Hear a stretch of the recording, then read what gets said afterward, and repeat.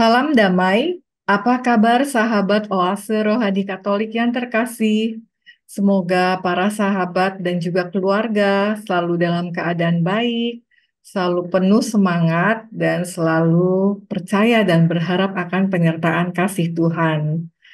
Senang sekali kita bisa berjumpa kembali dalam program Oase Rohani Katolik pada hari ini hari peringatan wajib Santo Timotius dan Santo Titus Uskup. Bersama saya, Giovanna Sagita dan Romo yang menjadi narasumber hari kita hari ini, Romo Jimmy Hendrik OFM. Baiklah, mari kita sapa Romo terlebih dahulu. Romo Jimmy, apa kabar Romo? Pak Gio dan sahabat Oasi Rohani Katolik yang terkasih, kabar saya sehat selalu, dan saya percaya bahwa ini terjadi karena kemurahan Tuhan. Dan saya berharap juga Bagio dan para sahabat wasi rohani Katolik di mana pun berada, sehat walafiat dan tetap dalam lindungan dan berkat Tuhan kita. Puji Tuhan Romo, selalu baik dan sehat keadaannya ya Romo ya. Terima kasih Romo Jimmy di antara kesibukannya, di sela-sela kesibukannya, bisa meluangkan waktu Romo untuk menyapa kita semua. Saya juga senang bisa bertemu dengan Bagio dan saudara-saudari uh, sahabat Oase Rohani Katolik untuk kita bersama-sama merenungkan firman Tuhan. Ya. ya Romo. Baik sahabat Oase Rohani Katolik yang terkasih, Sebelum memulai permenungan iman kita, sekarang marilah kita siapkan hati dan budi kita kita akan memohon tuntunan Roh Kudus sebelum mendengarkan sabda Tuhan dengan doa pembuka yang akan dipimpin oleh Romo. Silahkan Romo. Saudara dan saudari, sahabat wasi rohani Katolik yang terkasih, mari kita berdoa. Dalam nama Bapa dan Putra dan Roh Kudus. Amin. Terpujilah Engkau ya Tuhan Allah kami, karena kebesaran kasih dan kebaikanmu yang selalu engkau nyatakan kepada kami. Hari-hari hidup kami kau mahkotai dengan berkat berlimpah. Setiap siara tapak hidup yang kami lakoni, engkau sertai dan engkau berkati. Kami bersyukur Tuhan untuk segala berkatmu itu. Pada kesempatan ini kami hendak merenungkan firman Maka kami mohon Bapa urapilah kami dengan roh suci agar apa yang kami renungkan setahu kami itulah yang engkau kehendaki juga untuk kami lakukan di dalam kehidupan kami. Semoga oleh karena tuntunan roh kudusmu, kami mampu memahami, meresapi, dan menghayati amanah sabdamu di dalam kehidupan kami. Kami serahkan diri Bapa dan dengan penuh kerendahan hati mohon berkatmu, karena engkaulah Allah kami yang hidup dan berkuasa, kini dan sepanjang segala masa. Amin. Amin. Dalam nama Bapa dan Putra dan Roh Kudus. Amin. Amin. Terima kasih Romo Jimmy sudah memimpin doa pembuka.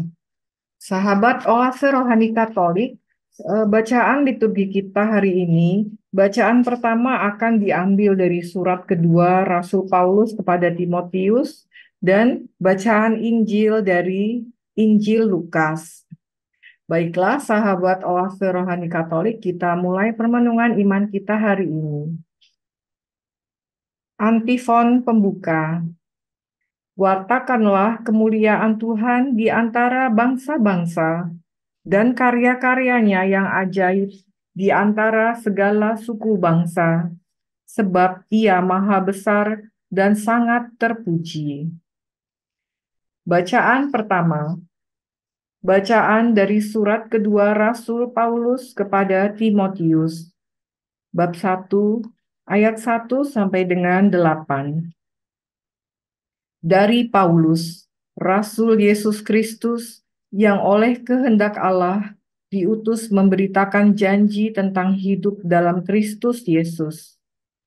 Kepada Timotius, anakku yang terkasih, kasih karunia, rahmat, dan damai sejahtera dari Allah Bapa dan Kristus Yesus Tuhan kita menyertai engkau.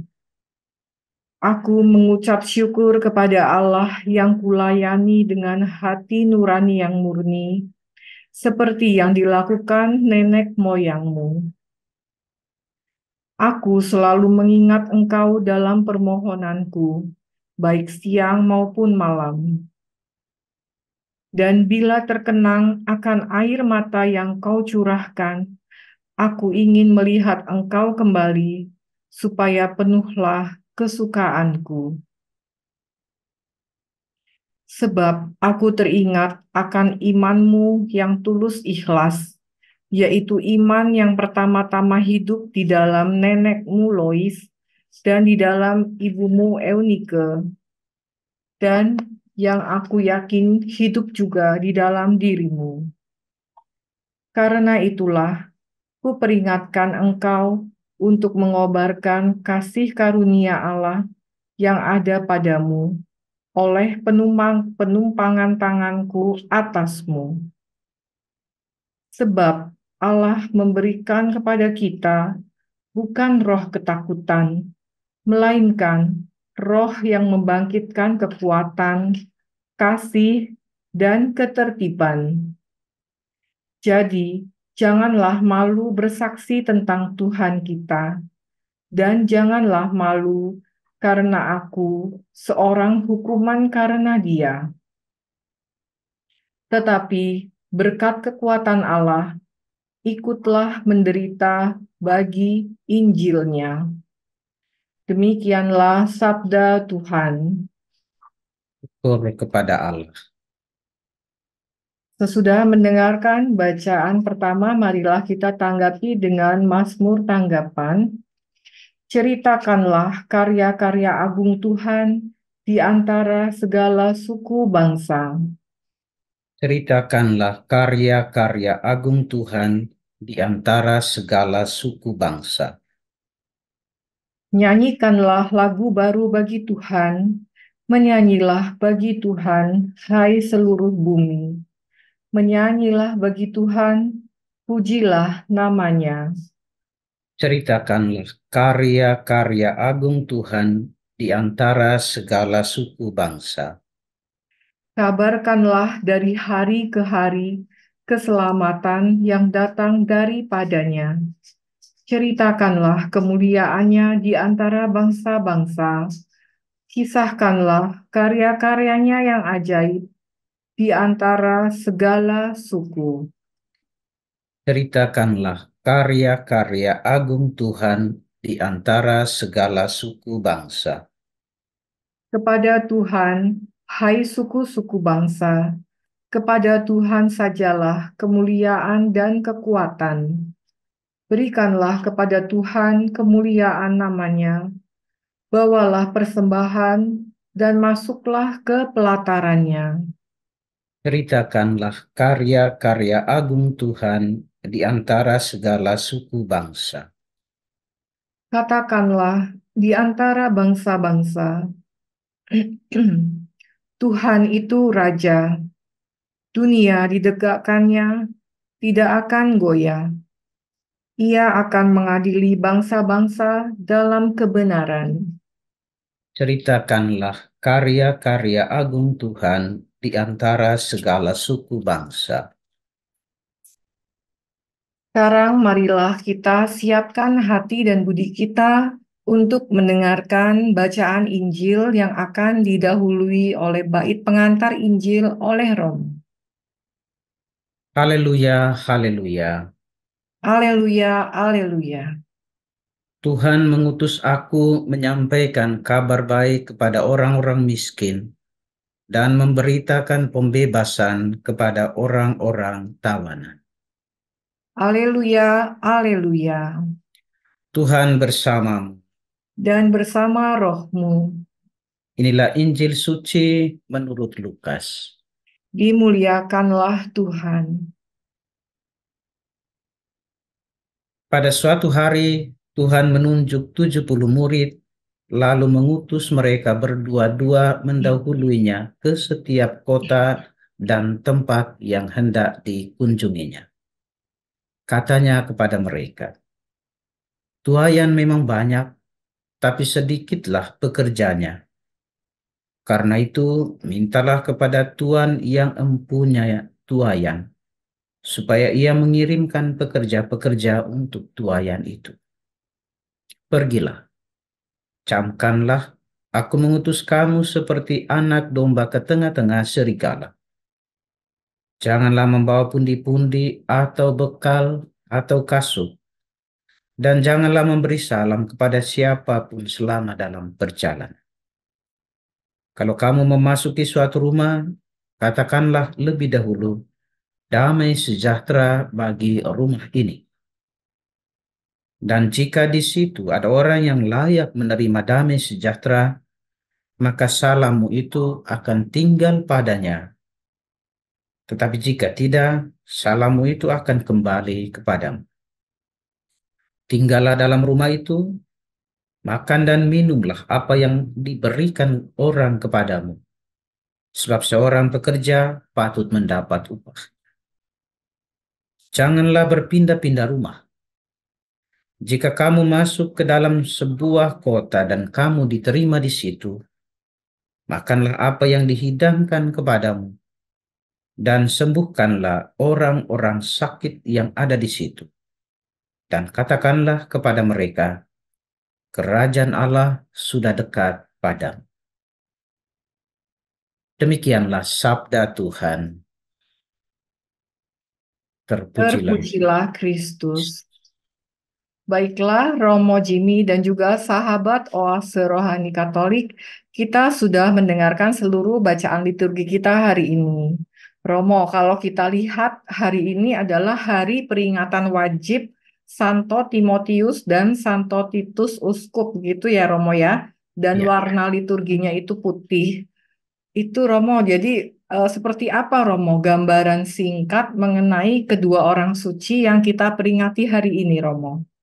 Terima kasih Pak Giovanni eh, dan juga sahabat Oasirhani Katolik yang terkasih mengawali refleksi kita berkaitan dengan sabda Tuhan yang kita dengarkan, kita coba melihat dua sosok, dua pribadi atau dua orang suci yang uh, kita peringati hari ini. Menyebut Timoteus dan Titus, sudah jelas kita semua tentu tahu bahwa mereka tidak tergolong kedua belas murid, kedua belas rasul yang dipilih oleh Yesus sendiri. Tapi mereka menjadi murid Yesus, mereka menjadi pengikut Yesus yang setia oleh karena pewartaan, oleh karena pemberitaan Injil yang disampaikan oleh rasul besar yaitu Rasul Paulus. Kedua orang ini cukup memiliki peran yang besar di dalam seluruh pewartaan Paulus khususnya di daerah Asia kecil. Menyebut Timotius kalau dari artinya, uh, Mbak Giovanni dan sahabat Wasyurana Katolik, Timotius, nama itu berarti memuliakan Allah. Dari namanya ini jelas bahwa dia adalah seorang misionaris yang seluruh hidupnya digunakannya untuk memuliakan Allah. Dan memang nanti kita akan lihat bersama bagaimana peran yang dilakukan oleh Timotius dalam pewartaan yang diterima oleh eh, dari Paulus dan bagaimana dia kemudian harus berhadapan dengan tantangan dan kesulitan. Yang menarik adalah bahwa Timotius ini adalah orang atau anak yang dikasihi oleh Paulus sendiri. Hmm. Dan Paulus siang malam bahkan berdoa kepadanya. Di tengah tantangan dan kesulitan dia yang dialami, Paulus mengingatnya, membawanya dalam doanya. Katakan bahwa dia berdoa kepada Timotius siang dan malam karena dia adalah anak yang terkasih sebagai rekan kerjanya. Ibunya seorang uh, Yahudi bernama Eunike, neneknya itu Louis tadi kita dengarkan dalam bacaan pertama. Ayahnya bukan seorang Yahudi tetapi dia kemudian bersama dengan ibu dan neneknya Louis itu menerima pewartaan Paulus dan menjadi pengikut uh, Paulus menjadi pengikut Yesus.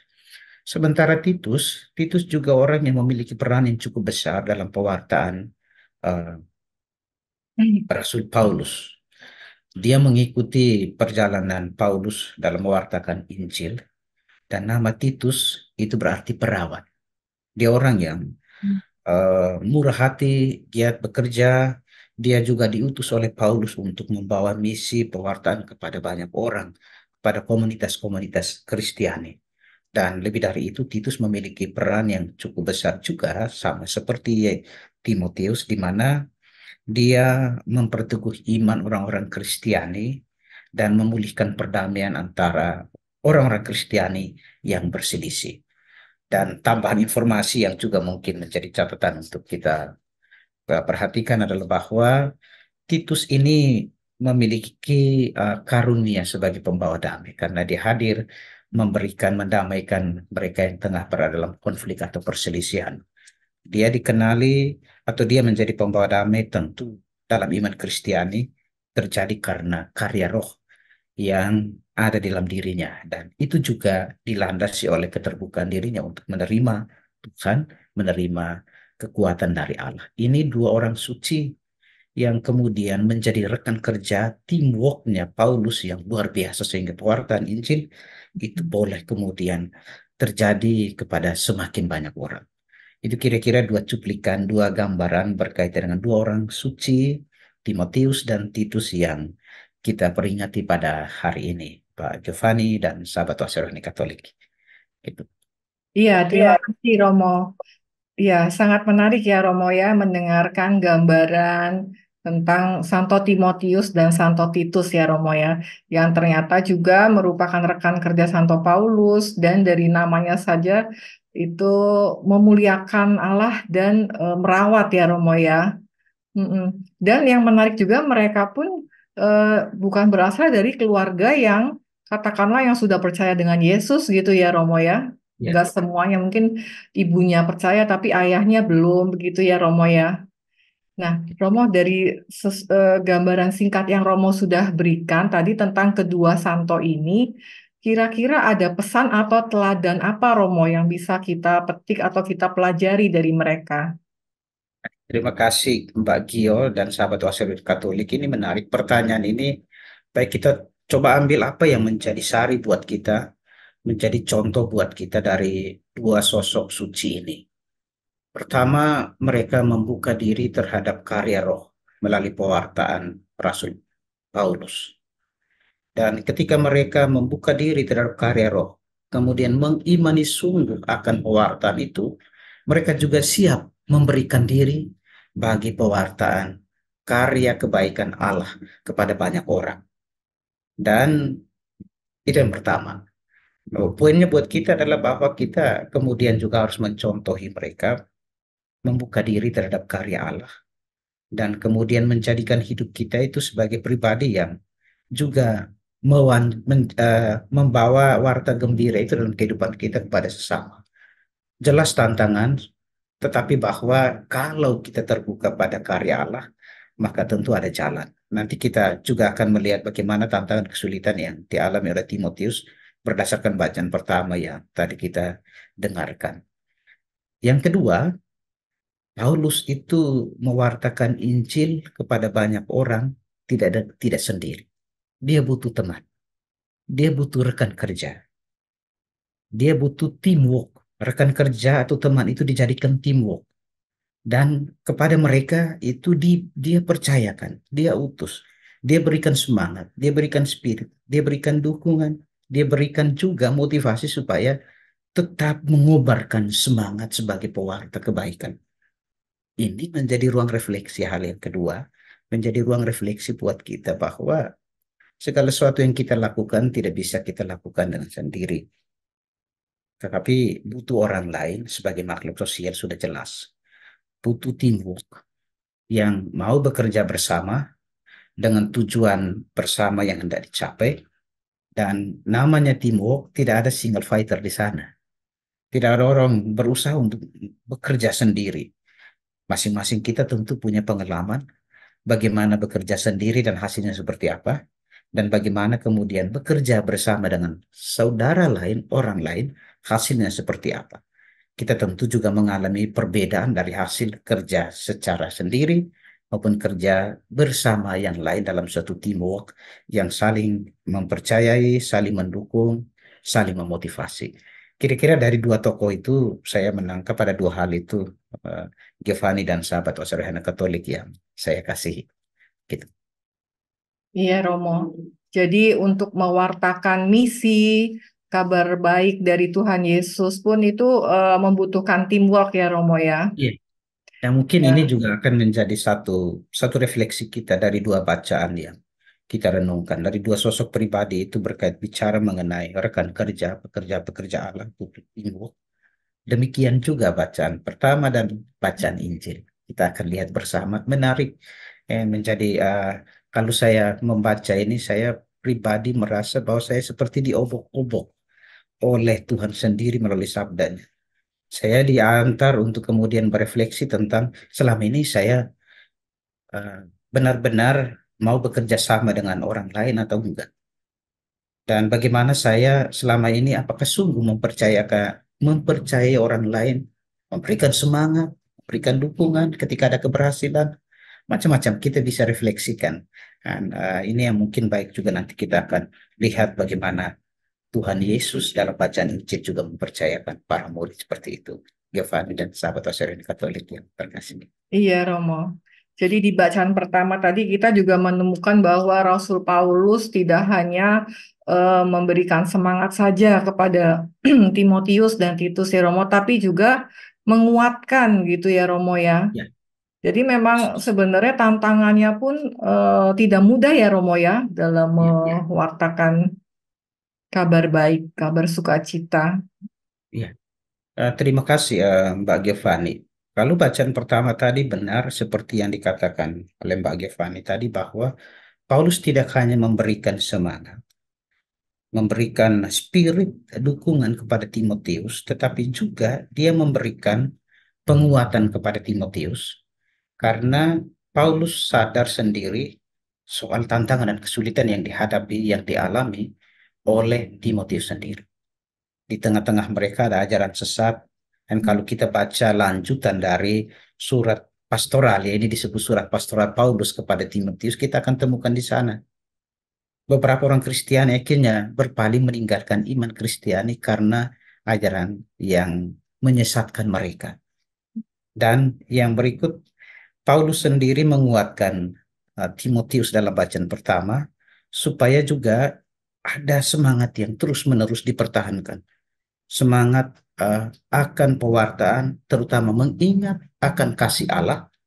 Dan yang kedua, tidak malu. Hmm. Tidak malu dalam mewartakan tentang Injil kepada banyak orang. Juga tidak malu terhadap pribadi Paulus sendiri. Dia orang yang kalau namanya orang yang dipenjara, hmm. sudah tentu punya image yang tidak jelas. Maka Paulus kemudian terus-menerus menguatkan Timotius supaya tetap bersemangat. Paulus menguatkan dia supaya tetap memelihara atau merawat karunia yang telah dianugerahkan kepadanya, terutama iman akan Yesus itu. Nah, itu iya. menarik uh, Mbak Giovanni dan sahabat Wassarin Katolik yang saya kasih. Iya, Romo Jimmy. Tadi uh, saya tertarik juga dengan yang Romo jelaskan tentang tidak malu itu ya Romo ya. Ini kan di bacaan pertama di ayat 8 ada ya Romo disebutkan.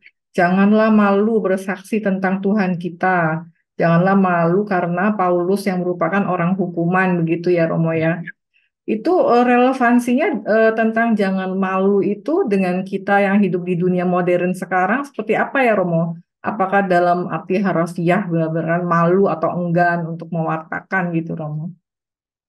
Baik, terima kasih Mbak Giovanni. Kalau kita lihat konteks surat pastoral di surat kedua Rasul Paulus kepada Timotius ini jelas.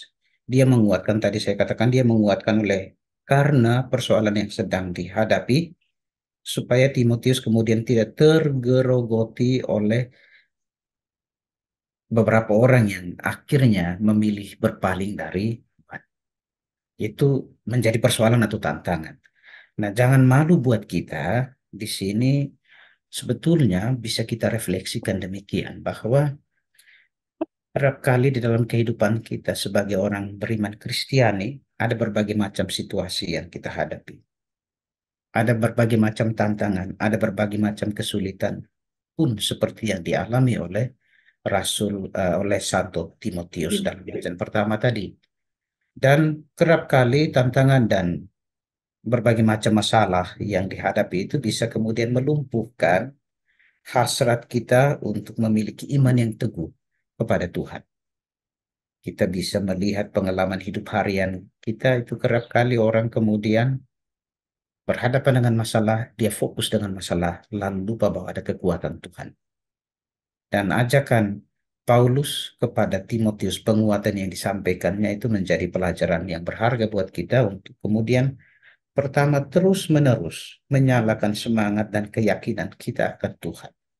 Tuhan memberikan kekuatan kepada kita, dan Tuhan juga kemudian berjalan bersama dengan kita. Dalam ayat 8 jelas. Dan itu poin yang pertama yang bisa menjadi uh, refleksi buat kita. Refleksi yang kedua, jangan malu terhadap penderitaanku, Paulus mengatakan. Maka menjadi refleksi, apakah selama ini kita melihat orang lain atau kita membangun persaudaraan itu memilah-milah. Ah, dia ini orangnya jelek. Dan oleh karena itu saya nggak mau bekerja sama dengan dia. Ada kategori-kategori yang kita bangun dan berdasarkan penilaian kita terhadap sesama. Dan hal itu kemudian menutup relasi kita yang baik dengan sesama. Maka pertanyaannya seperti tadi saya katakan sebelumnya, uh, sabda Tuhan ini semacam mengobok-obok diri saya, menggugah saya untuk kemudian merenungkan pengalaman hidup saya selama ini. Apakah saya sungguh menempatkan orang lain sebagai pribadi yang juga membuat saya menjadi pribadi yang lebih baik? Membuat saya kemudian terbuka untuk menerima orang lain apa pun kelemahan. Menjadikan dia sebagai rekan buat saya yang membuat saya semakin berkembang atau yang membuat saya juga kemudian semakin uh, memiliki hasrat semangat yang luar biasa. Ini uh, yang saya lihat uh, Mbak Giovan, Gio dan sahabat wasir Katolik yang terkasih. Jangan malu iya. memberikan kesaksian. Satu hal lain adalah kalau bicara, jangan malu kita sebagai pengikut Kristus. Berapa kali orang Kristen, orang Katolik di tempat umum mau makan aja nggak mau tanda salib karena nanti saya ketahuan ini saya ini orang Katolik Itu iya, hal-hal sederhana yang juga bisa kita lakukan tanpa kemudian merasa cemas, merasa takut, merasa malu oleh karena iman kita. Itu sederhana, tetapi juga kerap kali sulit untuk kita wujudkan dalam kehidupan kita. Iya, gitu. Iya, terkadang yang sulit juga mungkin eh, sebenarnya mungkin semangatnya ada gitu ya Romo ya untuk mewartakan gitu. Tetapi yang lebih sulit kadang hubungan uh, personal kita dengan orang lain gitu ya Romo ya, di mana orang-orang lain pun tiap pribadi memiliki masalahnya masing-masing gitu ya Romo ya.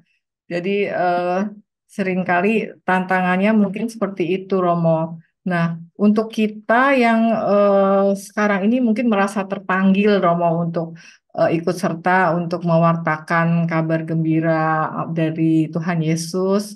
Itu bagaimana Romo supaya kita bisa terus semangat, kita mampu untuk terus mengobarkan uh, semangat atau karunia Allah yang sudah ada dalam diri kita Romo di tengah semua tekanan yang ada. Menarik. Terima kasih eh, Mbak Gio. Pertanyaan ini menghantar kita untuk uh, pertama memiliki kekuatan iman. Orang Kristen, orang Kristen tidak lalu berarti bebas dari masalah, bebas dari persoalan. Menjadi Kristen tidak lalu berarti bahwa hidup kita baik-baik saja sesuai dengan apa yang kita harapkan. Menjadi Kristen sama seperti yang dikuatkan oleh Paulus terhadap pribadi Timotius menjadi Kristen dan mau menjadi pewarta berarti juga harus siap untuk menerima tantangan dan kesulitan. Itu yang pertama. Menjadi Kristen kita tidak lalu berarti luput dari yang namanya tantangan dan persoalan. Yang kedua, bahwa kita percaya tidak ada yang namanya satu insan di dunia ini yang luput dari persoalan dan masalah, maka hal ini lalu kemudian juga harusnya membawa kita pada kesadaran bahwa sesama saya juga punya pertimbang, punya masalah, punya kesulitan. Saya harus kemudian bertindak, saya mengibaratkan seperti seorang dokter. Dia sedang sakit, tetapi juga karena kemampuan yang dimilikinya, karena profesi atau keterampilan yang dianugerahkan Tuhan kepadanya, maka dia juga merawat yang sakit. Demikian pula, kerap kali kita fokus dengan diri kita sendiri, kemudian tidak mau mengambil bagian dalam kesulitan penderitaan sesama, oleh karena tadi yang saya sebutkan sebelumnya, kategori-kategori yang sudah kita bangun, itu kemudian membuat kita menjadi pribadi yang sudah uh, apa namanya tidak memiliki semangat. Maka bagaimana caranya? Bagi saya, permenungan saya, atau juga pengalaman hidup saya, mengajari saya untuk meyakini bahwa saya menjadi orang Kristen tidak berarti tidak ada persoalan. Saudara-saudari saya, orang-orang yang ada di sekitar saya juga tidak luput dari persoalan. Bagaimana saya membuka hati terhadap roh Tuhan dan sambil percaya berdasarkan bacaan tadi ada kuasa roh, kasih, kekuatan, dan ketertiban. Ada tiga hal yang tadi dikatakan. Dan itu ada dalam diri saya. Ketika saya dimeterai oleh roh Tuhan melalui sakramen-sakramen yang saya terima melalui gereja, berarti ada Tuhan yang berjalan bersama dengan saya. Tantangan dan kesulitan saya dimampukan oleh Tuhan. Tuhan tidak pernah biarkan saya tenggelam di dalam persoalan yang saya hadapi. Ini menjadi catatan kita kerap kali ya pengalaman hidup kita kan berbicara seperti itu. Kita lalu kemudian, aduh, karena longsor, ah ini nasib saya sudah begini, saya nggak mau lagi berusaha. Ya sudah saya sudah ditakdirkan seperti itu. Ah itu pandangan hidup yang clear. Iya. Tuhan serta kita dan kita juga harus terbuka. Kita harus punya apa namanya kesadaran bahwa sesama saya juga punya tantangan dan persoalan. Saya mau menerima mereka, mau berjalan bersama dengan mereka. Kira-kira yang bisa saya uh, temukan dalam permenungan hidup saya. Gitu Giovanni, yeah. Yo, hmm. dan sahabat-sahabatnya Katolik yang saya kasih. Iya, terima kasih Romo. Yang Romo sampaikan itu sungguh meneguhkan ya dan memberi semangat buat uh, kita semua supaya ya tidak mudah menyerah ya Romo ya. Tetap selalu percaya dan uh, mengandalkan Tuhan tuh pasti tidak meninggalkan ya Romo ya. Selalu memberikan pertolongan dan sarana-sarana keselamatannya ya Romo lewat uh, gereja tadi seperti Romo bilang lewat sakramen-sakramen. Ya, Uh, semoga kita selalu dimampukan ya Romo ya untuk selalu ikut terpanggil, ikut ambil bagian dan ikut serta dalam pewartaan kasih Allah. Baiklah Romo dan juga sahabat Oase Rohani Katolik yang terkasih, kita sudah berbincang-bincang di sesi pertama dan nantinya kita akan lanjutkan di sesi kedua. Kita akan jeda sejenak, tetaplah bersama kami.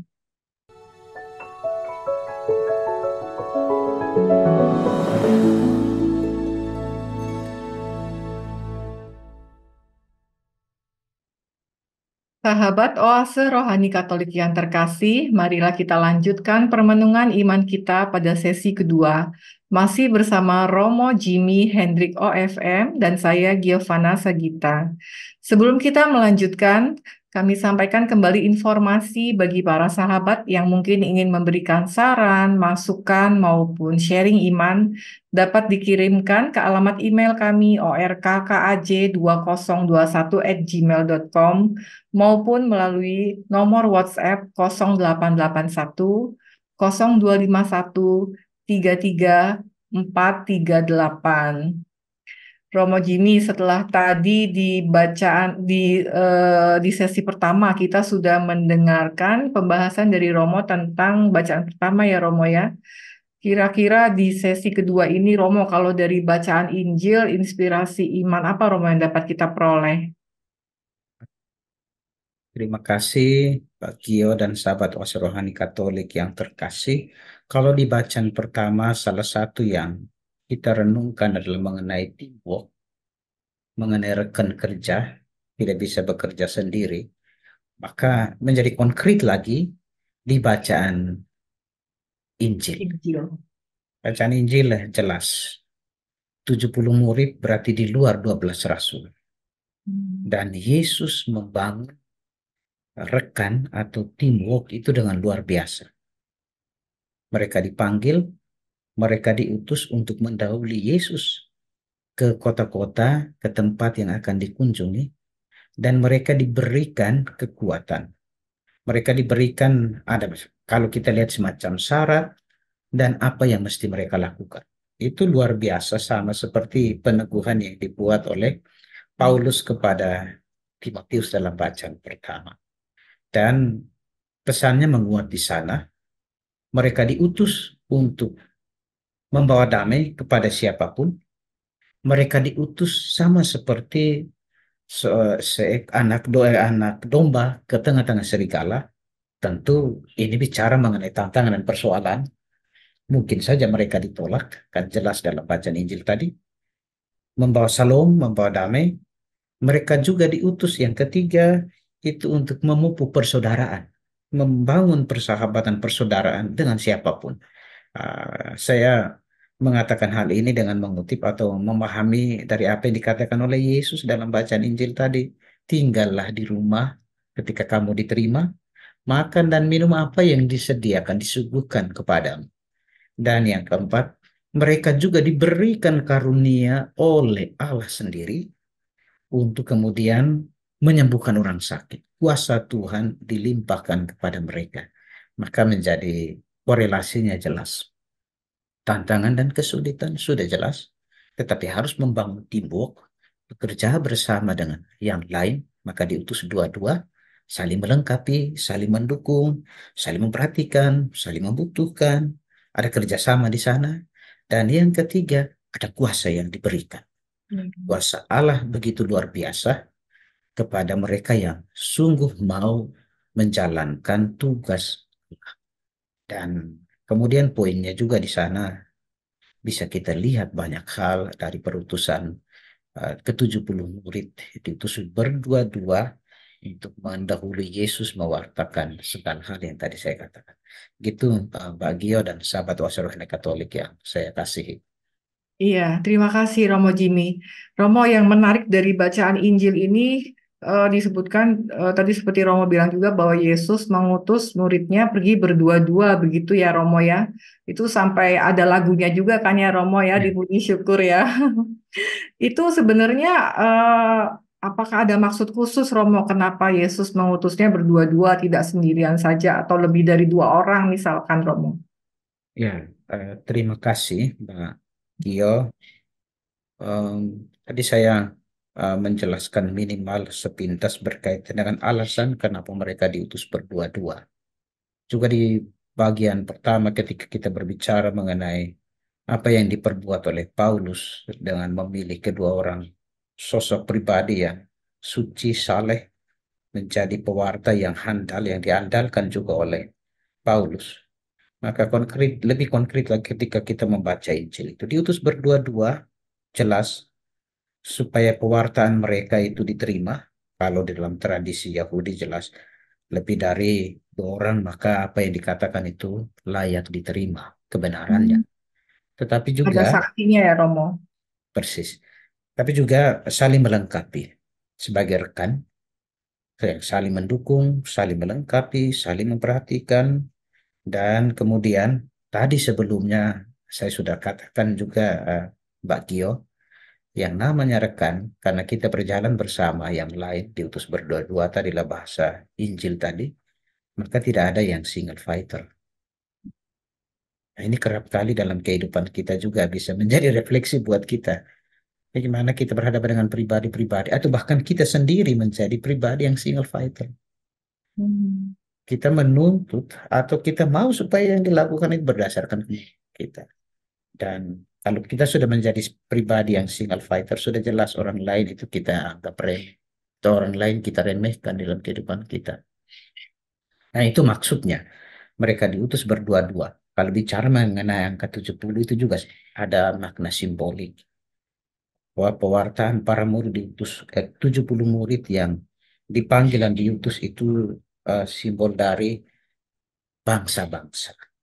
Oh. Jumlah suku bangsa di dunia dan oleh karena itu mereka diutus untuk mewartakan Injil kepada semua orang, seluruh bangsa, seluruh kota di dunia. Itu bahasa simbolik yang mau dikatakan kepada kita dalam bacaan Injil hari ini. Tapi poinnya adalah saya mau melihat korelasi dengan apa yang tadi saya kita lihat bersama dalam bacaan pertama, yeah. bekerja, teamwork, dan menegasikan yang namanya single fighter. Begitu, Pak Kio. Iya, iya. Jadi ada uh, korelasinya atau benang merahnya ya Romo ya dari bacaan pertama dengan bacaan Injil. Iya, sangat menarik Romo bahwa di bacaan Injil ini uh, Yesus memberikan tugas perutusan ya Romo ya dan uh, untuk uh, memberikan damai sejahtera kepada orang lain dan juga memberikan kuasa dan berkat untuk bisa melakukan penyembuhan ya Romo ya. Hmm. Nah untuk uh, kita yang hidup sekarang ini Romo, uh, bagaimana kita bisa tahu sebenarnya pekerjaan apa sih yang Tuhan Yesus ingin untuk kita kerjakan bagi sesama Romo? Baik, terima kasih. Uh, menjawab pertanyaan Mbak Gio, saya mau mengajak kita sekalian untuk menyadari martabat kita sebagai orang Kristiani. Semua orang Kristiani sudah dengan sendirinya tahu akan apa yang dikehendaki oleh Tuhan. Nah, hal yang sederhana, mari kita coba memaknai apa martabat sakramen permandian yang kita terima. Dengan kita dibaptis, kita tidak hanya diakui atau diterima sebagai anak-anak Allah yang mewarisi keselamatan dan janji-janji Allah, tetapi kita ikut terlibat. Kita termasuk salah satu dari ke-70 murid yang diutus. Tapi kita dibekali oleh karya roh yang kita terima melalui sakramen baptis itu. Kita ikut dalam rencana keselamatan Allah. Ketika kita dibaptis berarti kita menerima tritugas Yesus juga menjadi imam, raja, dan nabi. Menjadi imam berarti menguduskan. Maka poinnya, apa yang bisa saya lakukan dalam kehidupan saya? Saya tahu bahwa saya ini sungguh menjadi pelayan, menjadi pengikut, menjadi pewarta. Seperti perutusan yang diterima oleh para murid. Menjadi imam menguduskan. Apakah cara hidup saya menguduskan saya dan orang lain? Itu sederhana kita kembali mencoba untuk berkatekesa sederhana berkaitan makna sakramen yang kita terima. Karena itu berkaitan panggilan dasar ya kita sebagai orang beriman Kristiani. Kalau pikiran saya, kata-kata saya, kemudian keluar melalui tindakan saya tidak menguduskan, membelenggu orang lain, berarti kita sendiri belum menghayati panggilan iman Kristiani kita dengan baik. Menjadi nabi, menjadi raja berarti kita men cara hidup kita harus menuntun orang untuk sampai pada Allah. Kalau cara hidup kita hanya membawa penderitaan, kesesakan, dan sakit, apakah lalu kemudian kita menjadi pewarta yang baik? Menjadi nabi pun demikian. Perpanjangan tangan kasih Allah, mulut Allah. Hmm. Bagaimana lalu kemudian orang bisa tahu dan sadar sungguh bahwa kita ini atau mereka melihat Tuhan dalam kehidupan kita kalau lalu kemudian cara hidup kita itu juga tidak baik-baik amat, bahkan dipenuhi atau menjadi batu sandungan bagi yang lain. Itu juga ada yang keliru dengan diri kita. Ada yang salah dengan diri kita ketika kita mengaku sebagai pengikut Tuhan yang diutus untuk membawa damai, membawa salam. Saya itu kerap kali dalam permenungan saya merasa ada ironi dalam cara hidup kita sebagai seorang Kristen. Bagaimana saya membawa salam? Kerap kali kita membangun kemunafikan di dalam kehidupan kita. Mulai dari keluarga. Coba mari kita renungkan. Apakah selama ini saya sungguh membawa damai mulai dari keluarga saya? Atau justru saya membawa ketakutan dan kecemasan bagi mereka yang ada di rumah? Hmm. Yang saya sebut ironi adalah begini Mbak Gio di rumah itu kita menjadi orang yang menakutkan, menyesakkan, dan menyakitkan orang-orang yang bahkan kita cintai dan mereka cintai kita. Tapi tunggu dulu, ketika kita keluar rumah, wah kita menjadi orang yang Orang suci. orang yang suci. Ha, ini tidak sejalan dengan panggilan kita. Maka poin refleksinya kiranya jelas. Ketika kita tahu bahwa saya dipanggil, diutus oleh Tuhan untuk membawa damai, maka saya membuat diri saya untuk sungguh menjadi pribadi yang mendamaikan, bukan menyesatkan. Kehadiran saya di tengah orang lain harusnya kemudian menyejukkan. Ya. Karena harusnya kemudian mendamaikan orang, menenteramkan. Buat orang yang ada. Saya suka kalau ada orang itu ya. Enak banget bicara dengan dia. Saya suka kalau, tapi kalau kemudian mulai dari lingkungan sekitar kita di rumah aja sudah nggak baik, kita di luar baru kita pasang topeng hidup kita menjadi orang jempolan. Saya pikir ada yang keliru dengan cara hidup kita.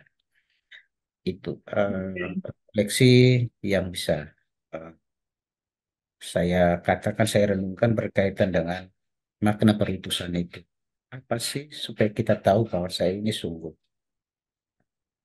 menjadi pembawa damai atau menjadi utusan Tuhan yang baik. Tentu juga kita tahu, Pak Gio, kita ada kekurangan, ada keterbatasan. Itu bentuk kerendahan dan kepatuhan juga ketaatan kita kepada Tuhan adalah membuka diri, berdoa, menguatkan kebutuhan supaya Tuhan bisa membuat kita menjadi pribadi yang Iya. Aduh, terima kasih Romo Jimmy. Yang Romo sampaikan tadi itu seperti teguran Romo untuk kita semua ya Romo ya. Jadi kita kembali diingatkan seperti tadi Romo Jimmy sudah jelaskan, uh, panggilan dasar kita ya Romo ya sebagai umat Kristiani. Kita harus mampu untuk menjadi imam, menjadi nabi dan juga yang paling penting adalah mempunyai cara hidup yang makin baik ya Romo ya dalam setiap peran sekecil apa pun peran yang Tuhan uh, berikan untuk kita laksanakan ya Romo ya di hidup kita. Ya, baik terima kasih Romo Jimmy. Kita tanpa terasa sudah berada di akhir sesi oase rohani Katolik kita hari ini, Romo. Dan eh, marilah sahabat oase rohani Katolik, kita akan menutup eh, perbincangan iman kita hari ini dengan doa penutup dan memohon berkat penutup dari Romo Jimmy. Silakan, Romo. Baik, uh, Pak Gio dan sahabat oase rohani Katolik yang terkasih, mari kita Berdoa kita bersyukur karena kita diajar oleh Tuhan melalui sabdanya hari ini. Kita mohon kekuatan supaya kita bisa menjadi pewarta kebaikannya dalam kehidupan kita. Mari kita berdoa. Dalam nama Bapa dan Putra dan Roh Kudus. Amin.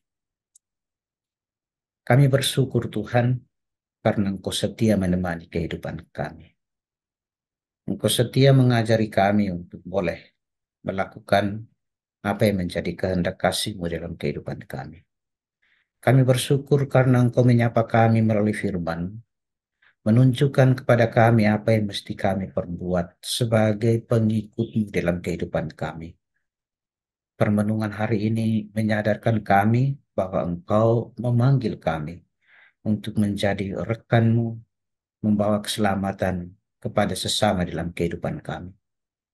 Kami juga sadar Tuhan, kami ini makhluk yang lemah, yang tidak berdaya, berhadapan dengan tantangan dan kesulitan, berhadapan dengan kelemahan manusiawi kami. Kami mohon kekuatan darimu Tuhan, tuntunan roh kudusmu, semoga engkau limpahkan kepada kami, sehingga kami setiap saat terkobar oleh semangat roh kudusmu untuk menjadi pribadi yang baik, yang menghadirkan keselamatan melalui tindakan, tutur kata, dan perbuatan kami dalam perjumpaan kami dengan sesama. Dalam namamu kami memohonkan berkatmu, maka semoga Engkau hadir senantiasa memampukan kami untuk mewujudkan kasihmu dalam kehidupan kami. Karena Engkaulah Tuhan kami yang hidup dan berkuasa, kini dan sepanjang segala masa. Amin. Tuhan bersamamu dan bersama rohmu. Bapak, Ibu, Saudara, dan Saudari, seluruh hidup kita, niat-niat baik kita, senantiasa diberkati oleh Allah yang Maha Kuasa, Bapa dan Putra dan Roh Kudus. Amin. Sahabat Oase Rohani Katolik, di mana pun Anda berada, kami ucapkan terima kasih karena telah setia bersama kami dalam Oase Rohani Katolik kita hari ini.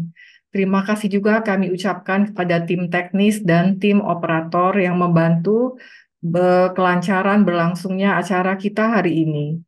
Kita akan jumpa kembali di program Oase Rohani Katolik edisi berikutnya. Saya Giovanna Sagita dan Romo Jimmy Hendrik, kami berdua pamit undur diri. Terima kasih dan Tuhan Yesus memberkati.